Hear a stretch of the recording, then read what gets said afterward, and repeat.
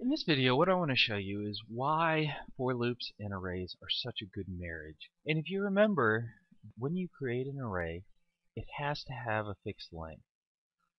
And this length is going to be 10 and the index is going to run from 0 to 9.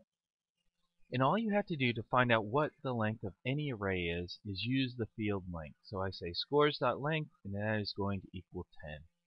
Now if you look at this code down here, you can see that I start at index 0 and I go all the way to index 9. And I'm doing this 10 times and that should annoy the bejeebers out of you because what you are doing is using 10 lines of code to accomplish something that could be done with a for loop that could be iterated through and access each element rather than having to print out time and time again. Now with 10 it's not so bad, but imagine if you were doing, if your array had 200 pieces of information in it. Would you want to have to print 200 lines of code and code in each individual index? Well, no, that would be that would be silly. So, let's show you how to use a for loop when accessing an array. So I'm going to say for int index equals 0. And the reason why I'm using index is because the index is what you're looping through. You can see up here I'm using the index in order to access what's inside of that slot or what that element is inside of that slot. And then I'm going to say index is less than scores dot length. And the reason why I'm saying scores dot length as opposed to saying less than or equal to scores dot length is because remember the length of the array is 10 but the index ends at 9. So if I was to say equal to, it would give me an index out of bounds. I want to say less than index, so I'm not going one past the actual length of the array. And then finally I'm going to say index plus plus, and what that's going to do for me is of course add one each time, so the first time I'm going to access the first index, second index, third index, so on and so forth. And remember, I'm going to be starting at 0 because arrays always start at 0. They do not start at the 1 index. And then I'm just going to simply print out the information. So I say system.out.print scores sub. And I'm going to put something in there in just a second, but I'm going to concatenate a space on afterwards. And like I said earlier, what I am putting inside of here is the index. So the first time the loop iterates is it's going to be 0, then it's going to be 1, 2, so on and so forth. So I get each piece of information. So let me compile this loop and run it. And you can see that I get 1 through 10. That's this printing out right here, and I'm doing the exact same thing with the loop right here, and it gives me the exact same information. Far easier to do it with a for loop. Now I'm going to copy this using Control J so I have some spaces at the end. And now I'm going to show you a for loop. Instead of going beginning to end I'm going to go end to beginning. So I'm going to say for in index. And instead of starting at 0 I'm going to start at the end. So I'm going to say scores dot length.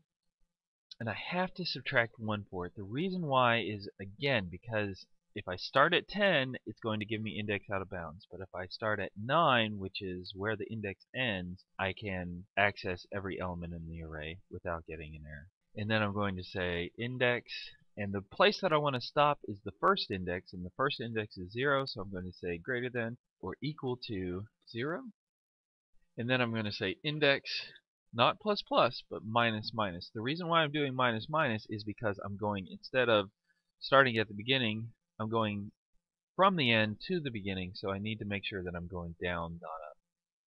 And then the interior of the loop is going to look exactly the same. System.out.print. I say scores sub index. And I'm going to concatenate on that space. Don't forget my semicolon. Compile, make sure there aren't any errors and then run it. And I can see, again, here's the first loop that I did, 1 through 10, and here's the second one that I do backwards. I start at scores.length, minus 1, go all the way to 0.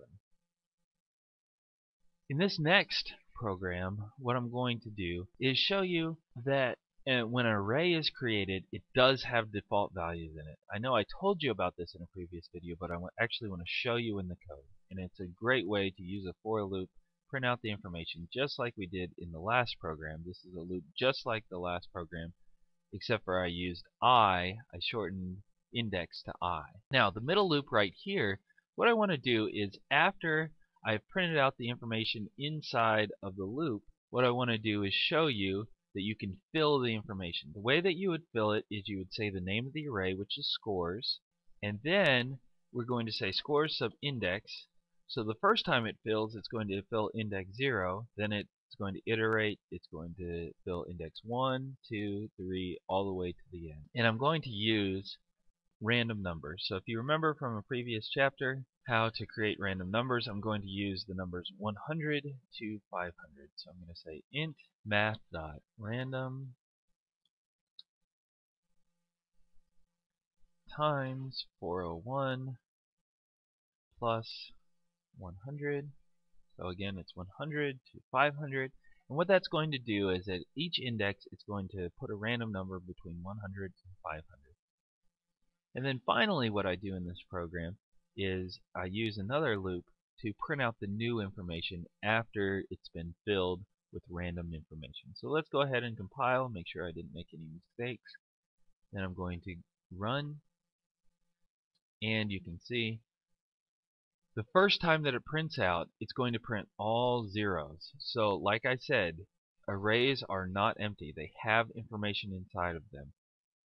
Then I fill it with a random number from 100 to 500. And then I print it out again and we see the filled array with the random values. So you can see that a for loop is very useful in printing out information and putting information inside of a loop. This program shows you a common thing that you can do inside of a loop, and that is sum the values. You're going to sum up the values inside of the array. So you can see up here that I've created an array. I've put in the values 1 through 10. And then what I've done is created an accumulator called sum. And it's going to start at 0, and it's going to be an int value because these are int values.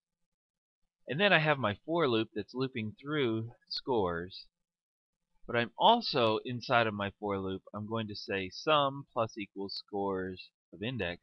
And what that's going to do is the index is going to be 0. And so the first time it's going to be 1, and then the second information is going to be 2, and it's going to add it all up, save it in sum, and then right down here I'm going to print it out. So let's compile it, make sure I didn't make any errors, run it, and you can see that 1 plus 2 plus 3 all the way to 10 is 55. So this is, again, a common thing to do inside of a loop, summing up all the values inside of an array. With this final program in this set of programs, I'm going to show you how to find the maximum and minimum values inside of an array. So I've created an array, put some pretty much random values in there. They're all some multiple of 5. And you can see the lowest value right here is 5, the highest value is 50. I create two values, one called int max, one called int min. Now the reason why I'm not going to put 0 here, and I'm not going to put 0 here, is for practicality. Think about it. If I put 0 here inside of math.max, well what happens if all of these values are negative? Is it going to find the negative value? Well no, what it's going to do is stay as zero.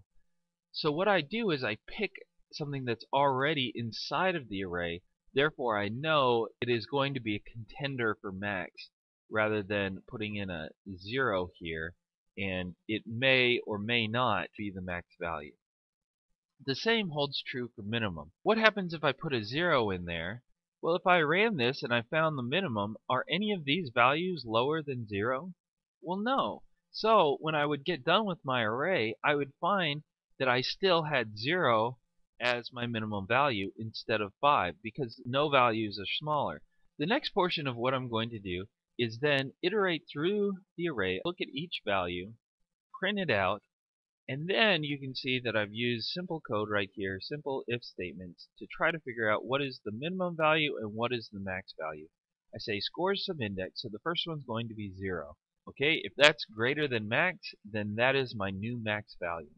And I also look at it and say, whatever this value is, whatever is at 0, if it's less than min, that is going to be my new min value. Then I come down here and print out the information under max and min. And so let's run the program and see what happens. I do, I get the correct values. 50 is the largest and 5 is the smallest. For loops are an integral part of arrays. They work so well because we know the length of an array. It's fixed and fixed iteration, which for loops utilize, is a perfect way to to both put information into an array and display that information of the array.